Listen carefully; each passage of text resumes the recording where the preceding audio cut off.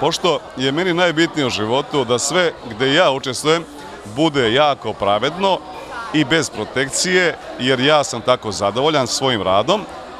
I da nije bilo tako, verujte mi, ovaj, na meni bi se to vidjelo i rekao bih, ali drago mi je što je e, celokupan žiri stvarno e, jednoglasno odabrao tri devojke koje su po nama večera zaslužile da dobiju te najviše nagrade. I zato sam jako srećan i volim kada je to tako.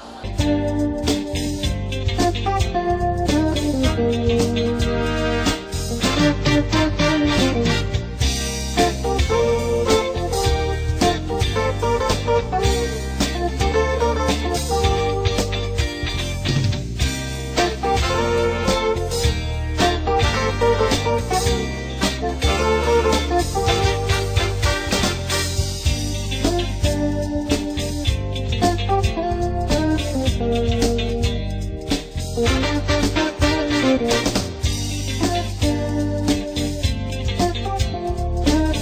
you.